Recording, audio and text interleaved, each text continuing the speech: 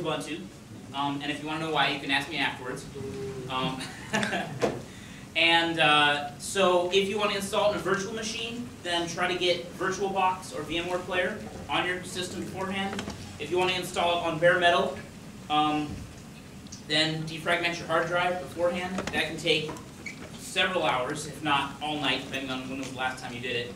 So um, make sure you do that well in advance. Uh, and then two weeks after that, we will be having uh, which is our Advanced System Linux Administration Seminar, which basically, it has advanced in the name, but it's really designed for people who are a little bit past the intro stage. So if you've installed Linux, you've played around with it a little bit, maybe for two weeks since, oh, I don't know, InstallFest, then come on in. Um, will have limited seating. So if you want to go to ALSYS, that's March 1st. Make sure you RSVP to my email uh, sometime before then. So uh, today we have Nicole Carlson from SpaceX. She's going to be talking a little bit about um, uh, the company and what she does there. So uh, let's give her a warm round of applause.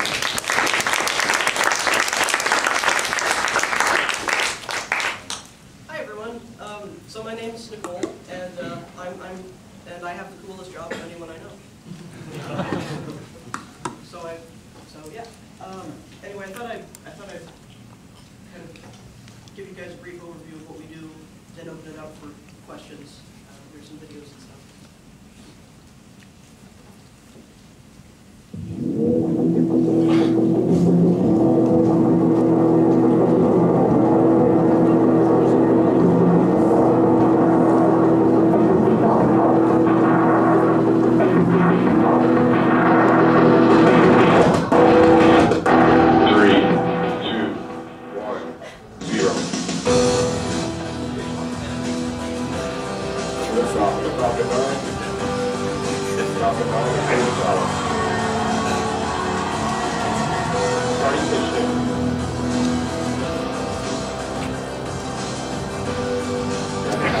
Now, this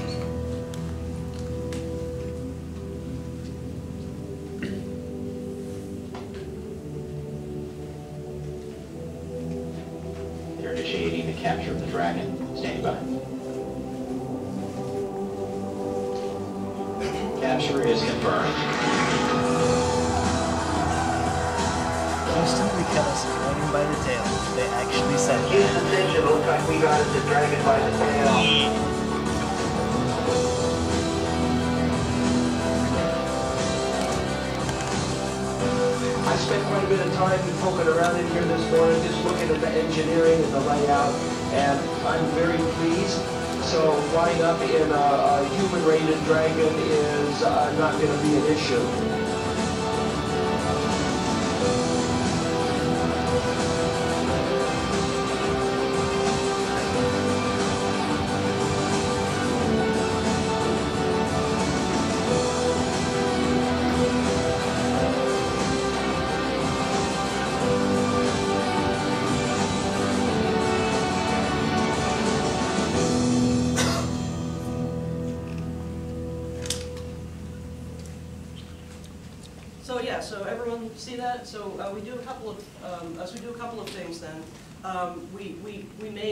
Pretty much all of that. Um, the, uh, the Dragon capsule, which uh, we're currently using uh, to, uh, to run resupply missions to, uh, to the International Space Station. Um, if you heard, we, we just did that in October, um, and it was a, it was a roaring success. Um, so we made um, pretty, pretty much every bit of the Dragon in-house, and we also make the rockets. So we, we not only make the rockets, which I believe are the very first substantially new designed rockets uh, in, a- in, in a very long time. Um, We, we, we design them in-house, we build them in-house, uh, and we fly them in-house. And uh, the, the Dragon capsule, we also design, build in-house. And uh, we're currently working on getting that human rated so that um, we can um, launch our own astronauts to the space station instead of hav- having to hitch a ride with the Russians. So, yeah. I, I was actually at the, uh, the launch in October. Oh my God, it was off the book. It was, it was one of those moments that, you know, like, you know, I spent four years of undergrad and three years of grad, and moments like this, it's all worthwhile.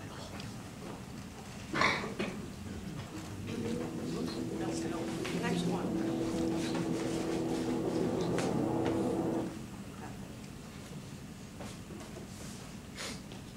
Okay, yeah. So, um, so along the road to get here, uh, we started with the first, first demo flight back in two thousand and six. We, well, uh, we've been a company since about two thousand and three, so we're about ten. Um, And we've been flying progressively more, I guess. Um, and up until, um, um, up until, um, this, this, this past May, they've all been sort of demonstration flights, just to prove that we can do it. Uh, because it, it turns out to be really kind of hard to launch stuff into space and return safely to Earth. Like, there's, um, there's like several entities on the planet total that can do it. Most of them are, um, uh, most of them are state governments, and one of them is SpaceX. Just to put all this in perspective. So, um,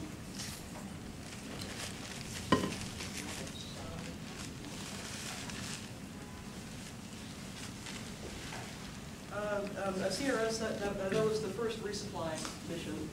Um, I was, I was actually, I, I'd been hired by that point, so I got to see that, um, so I got to see the launch and stuff on site, which was incredible. Um, so yeah, and, um, uh, we launched, um, we, have two launch sites currently. One in Cape Canaveral, Florida, where they launch the, the other shuttles and rockets from. And then, uh, one up here in Vandenberg Air Force Base, just up in Ventura County. Uh, so hopefully we, uh, intend to launch from both of those locales. Um, stop me if you have any questions, by the way, just want me to talk about something more. So this is our current manifest, which is a fancy aerospace way of saying, uh, launch schedule. Um, so this is our, our current plan as it stands now. Um, um, uh, uh, we're, we're, we're doing a few runs for, uh, for, for, for, uh, for a, uh, for a satellite outfit called. Um, we're, we're continuing to resupply to ISS. The one in October was just the first one scheduled out of many, which are going to take place over the next several years.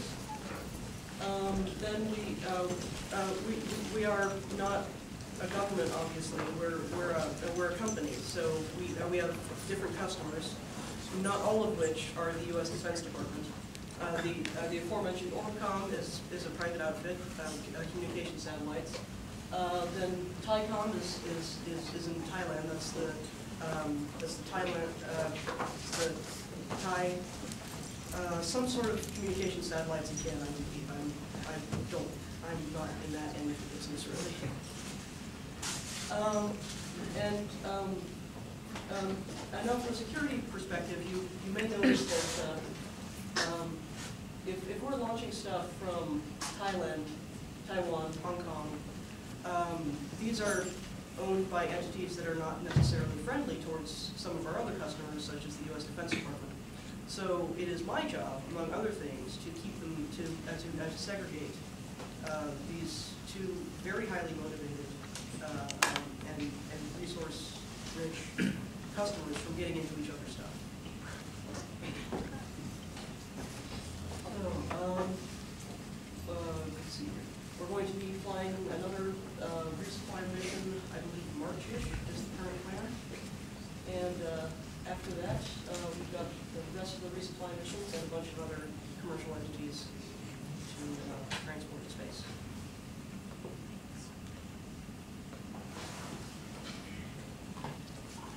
So, um, we're headquartered in Hawthorne, California, which is, uh, just, uh, just out by the, uh, which is just out by LA Airport. Um, it's great. We, we, uh, we share kind of a rough campus with, with Tesla, which is our founder Elon Musk's other company. Uh, well, one of his other companies. Um, And, and I, and I checked, we don't get discounts on cars. Um, But they don't get discounts on rockets, so.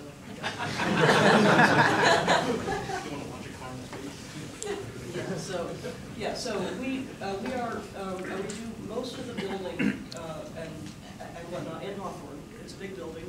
Um, uh, I, I several times a week walk out there and see what they're doing on the floor, because it's really super cool. Um, so, so yeah, all the, all the engineering and stuff done in Hawthorne. Uh, Vandenberg and Cape Canaveral, uh, those are our launch sites. So uh, we have kind of satellite offices there uh, where people keep an eye on our stuff and our networks and our infrastructure out there. And then McGregor, Texas is our test, is our test range. So uh, we do a number of things um, in McGregor. We're, uh, we're currently testing uh, what we call Grasshopper, which hopefully will be one of the first vertical takeoff, vertical rockets to, to fly. Um, So, so, uh, so yes, we do a lot of testing, um, um, integration, we also do in Texas. Um, um, Integration is, uh, so- yes. Um, when you're done talking about McGregor, can you talk about the other locations on the map? Uh, yeah, sure.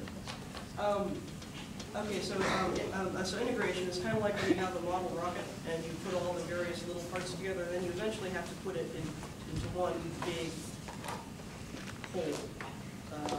And, make sure that everything's put together right and the parts are aligned where they should be aligned. Uh, that, uh, that's called integration. Um, we, uh, we do that in McGregor. Um, so we truck the parts out to McGregor, they integrate them and do the final tests on them there. Um, the, the other ones, I don't know what they're up to in Houston, actually. Um, Washington DC and Chantilly, those are, uh, those are offices that are primarily there to liaison with the US government, which is one of our biggest and most important customers, particularly the Department of Defense. Yes? You have some like twelve underground levels in the Hawthorne facility. Uh, It's really cool underground stuff. Um, I, I, we have uh, twelve hundred ground level. Um, no, well, uh, it's, it's a big building, and there's, um, I mean, I don't think there's any areas that are, you know, closed off. No one shall enter here because this is our skunk works. Um, uh, that's what you're asking, so I don't think there's that. There's, there's areas where you probably don't wanna go, Oh, okay. because, well, yeah, oh, there, there's plenty, there is an abundance of cool shit to look. I, I guarantee you that, and you're allowed to look at it for, uh, for the most part. Um, in, uh, in general, they, they, they, they don't want everybody in the world tromping through their clean rooms.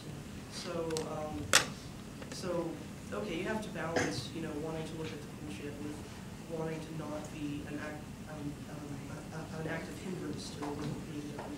And, um, in particular, one thing we're very concerned about is keeping crap out of the various parts we're doing. Um, it's called foreign object debris, thought, and it's a major problem, because all it takes is one, it's, uh, uh, I should see what they sweep out of, out of some of these components when they're ready to be integrated, and stuff like, you know, metal filings, a washer, a nut, uh, stuff that really shouldn't be in a rocket, because it can cause tremendous damage when the rocket is integrated and spun up, and, uh, parts that were not designed to have a, a washer rattling around them suddenly do have a washer rattling around them, and that can be. So, um, so in the interest of FOD containment, they, uh, they also might wanna, you know, keep you out of some of the more sensitive areas, but not because there's anything, um, so secret that they're gonna have to kill you, um, but because, um, there's no good reason for you to be there and you could end up doing some damage. Does that help? Yeah, no, that makes sense. I, I, I was I was just wondering. like, There's a tremendous amount of. We might be done. Which is actually impressive. Five, four, three, two, one. Oh, yes, a tour of the, of the McGregor facilities.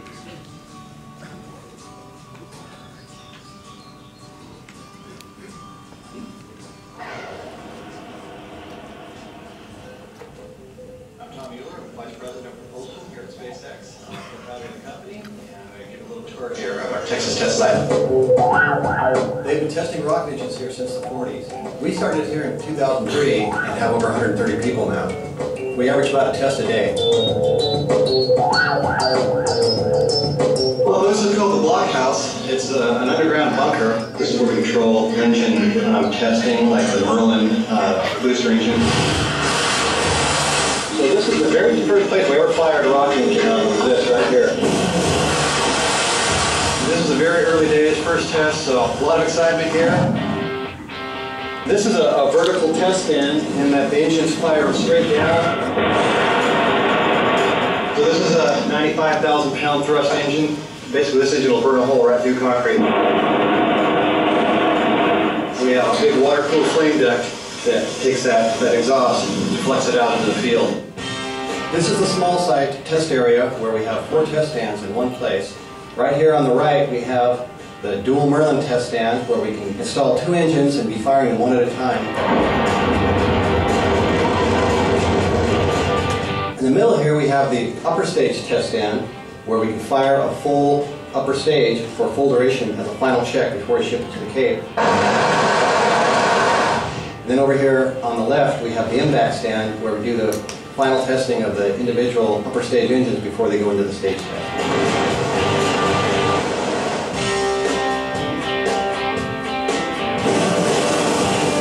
Thruster that we're developing here is going to be used on the Dragon uh, spacecraft. So this little engine is it's 90 pounds of thrust. It only operates in the vacuum of space. So in order to test it here, we have to run it in, in a vacuum cell. So you can see the stainless steel cell here that closes up. Um, and we actually operate this thing up to about the melting point of steel, about 2,500 degrees out. This thing basically runs white hot when running this thruster. This is the Dragon module test area where we take one of the four quads that's in a Dragon that has five thrusters on it and we can fire those thrusters just like we do in space on the Dragon capsule. This is a hangar where the stage hardware arrives and gets final assembly here before it goes up on the tripod for final testing. Here we have the tank assembly and the engine assembly. The two get joined together and become the first stage of Falcon 9. This building is a central shop. We have engineering up front and workshops in the back where technicians do all the plumbing, electrical, and fabrication of things to support testing out on the test stand. This is the component test stand where we test individual components that go into engines or stage assemblies, things like valves, turbo pumps, gas generators. This is the Falcon 9 structural test stand where we do stage testing of both stages and separation of the stages. Okay, here we are, well over 200 feet up. If you're afraid of heights, then don't come up here. Here on the big tripod test stand, we fire the Falcon 9 first stage, all nine engines generating almost a million pounds of thrust.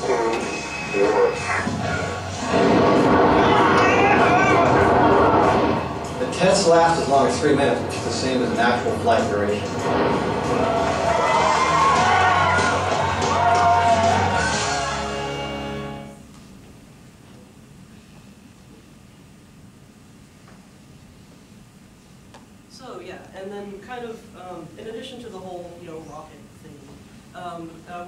We're, also heavily invested in, um, one of the first, um, manned crew modules, uh, uh, certainly by a commercial company, and, uh, one of the, um, most promising replacements for the now retired shuttles.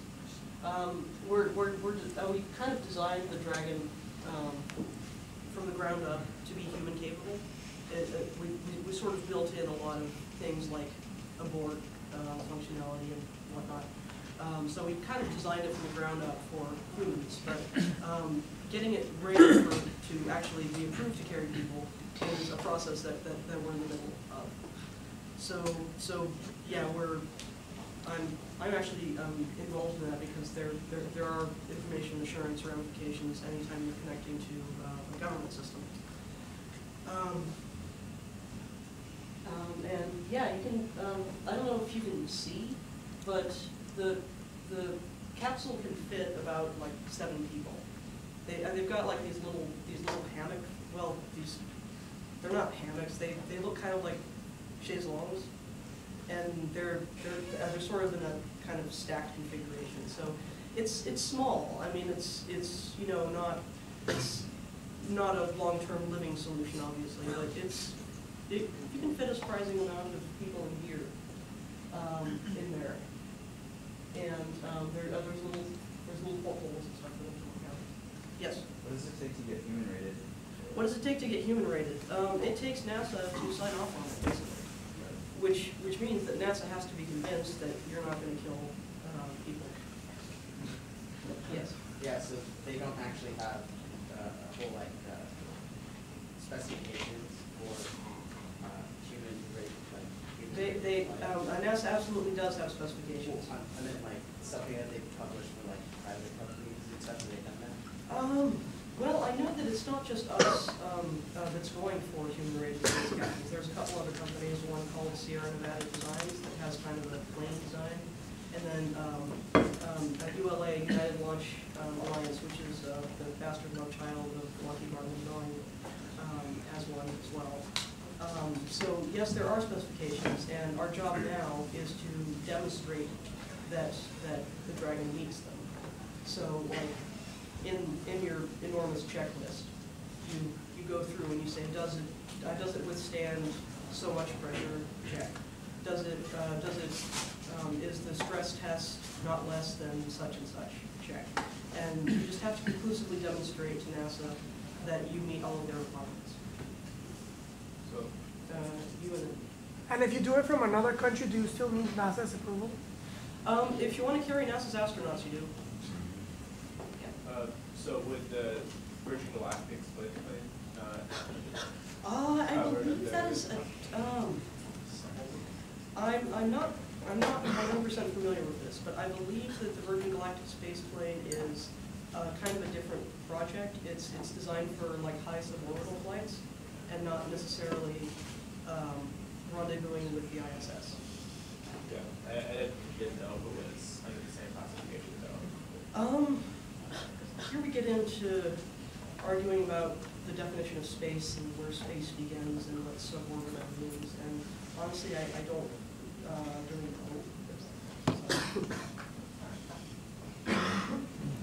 How long do you think before the dragon gets uh, human rated? How long before Dragon gets human rated? Probably a few years. Um, I, I, I, spent my, I spent my career before SpaceX, um, in, in a, in a more government, um, in a more government environment. And, um, things move extremely slowly in government. For, uh, for one particular type of certification, eighteen months is considered an extremely ambitious schedule. So stuff does not move fast. Um, you, uh, it's enormously complex, there's a lot of stuff to be done, and you have to get, uh, basically, you have to get everyone to agree on what the requirements are, what they mean, whether they're applicable, whether they're met. Uh, so there's a lot of, so, so there's a lot of arguing that goes on kind of behind the scenes of what, what on the surface appears to be a fairly straightforward thing, does it meet these requirements, check, check, check. In reality, you have to get everyone together to agree on what the requirements mean and, uh, what it means to fulfill. Them. So, yeah, it, it'll probably take another three-ish years. Yes? You mentioned earlier that this is one of the first rocket major redesigns in a long time. Yeah. What's so different? Um, I'm not actually a rocket scientist, so I, I, I, I don't really know. Um, I, I, I do know that, um, your, your, your Saturn V's and whatnot are, are sort of built around one giant thruster. We're built around multiple smaller thrusters. And, um, here we take leave of my homeland knowledge of rocket design. I'm afraid. Uh, I, I am not too conversant with rocket design.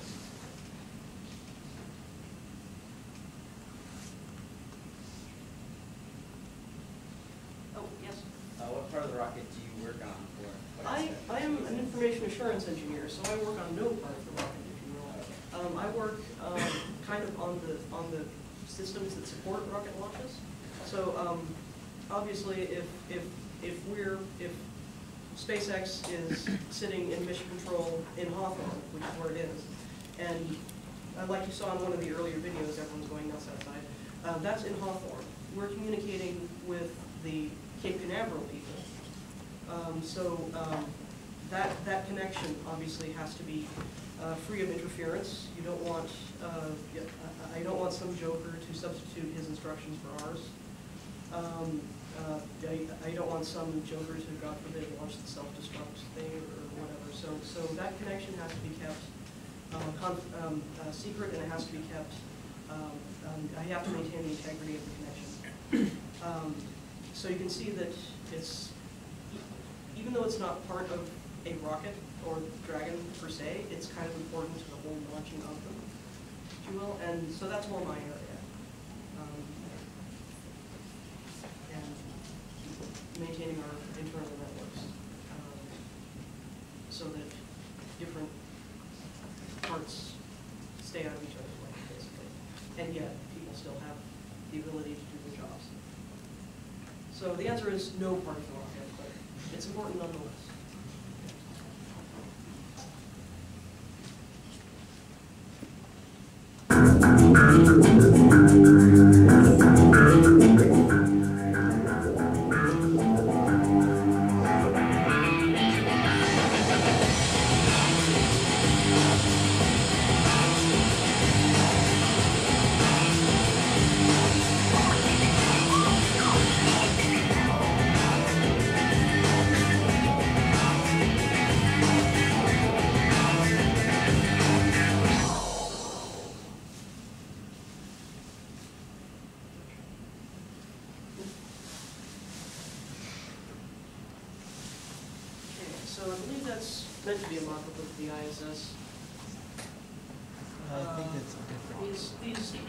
Squarey things here are solar panels, uh, which is also what these are, the auxiliary power. And uh, you can see it in the animation up here, you can sort of see Earth kind of drift by. Uh, This is, this is from when the Dragon was attached to the ISS. Uh, uh, We've got a camera on it, and it was recording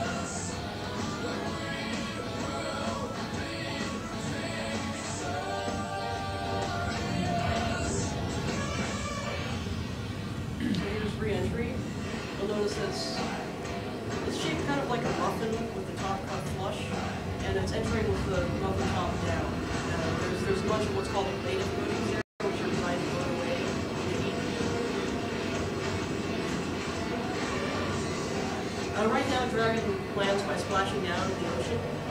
Um, we can get vertical landing, but that's another huge.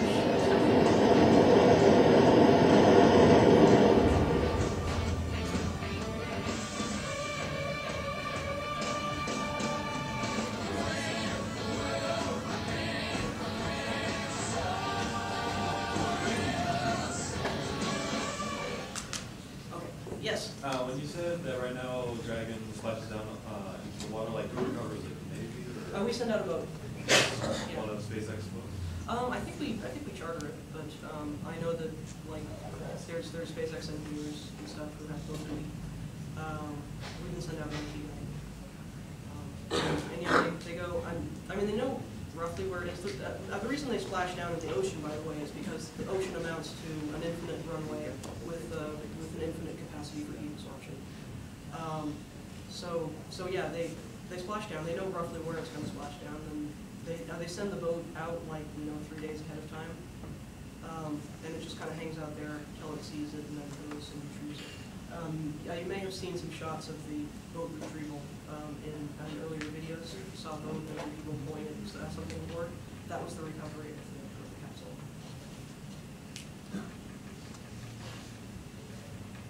Yes. Have you guys actually uh, had the first stage uh, land vertically before? Or?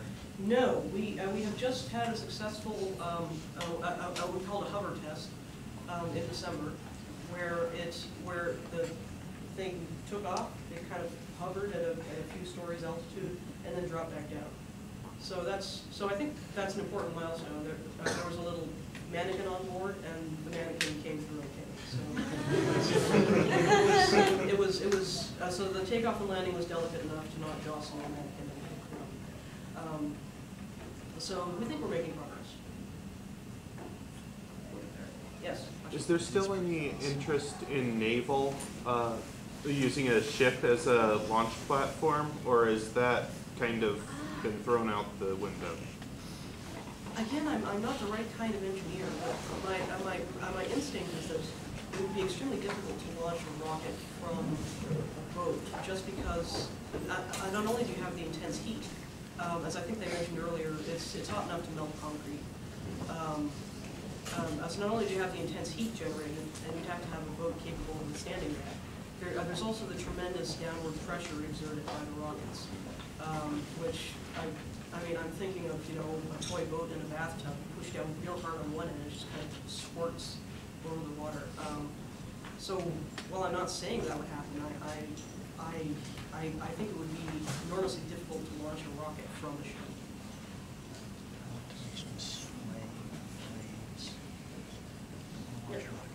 No, no, you got it. Oh, okay.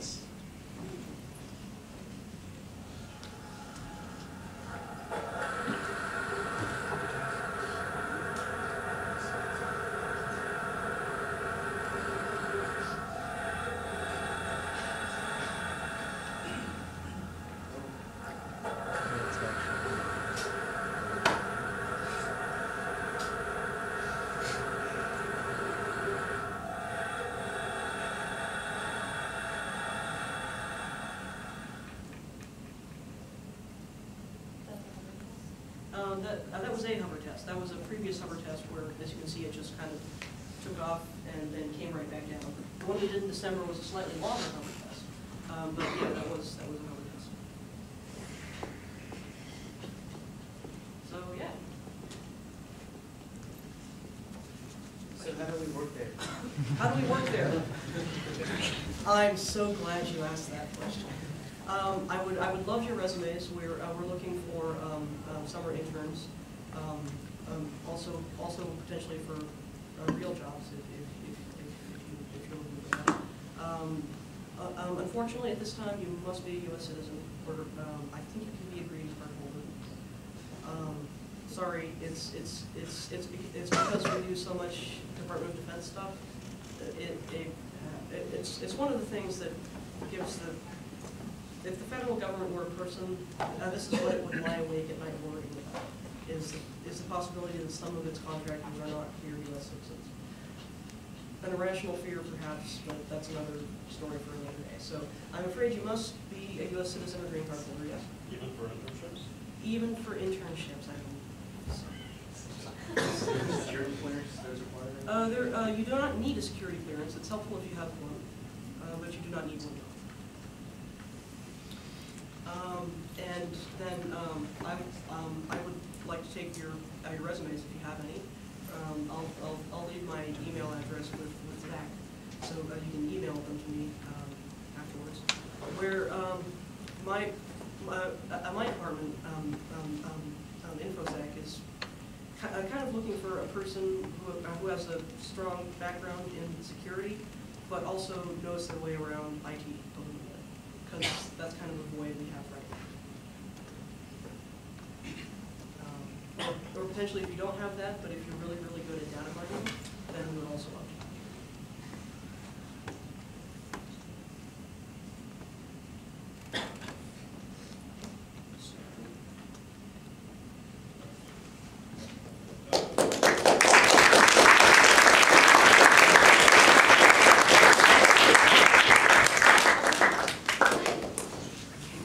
All right, guys, thank you. Um, if you still need to sign the scale forms or pay, come see Chris, uh, because we have to have that today, or we have to drop it from the list, because it's due today. So, thanks, and we'll see you next week.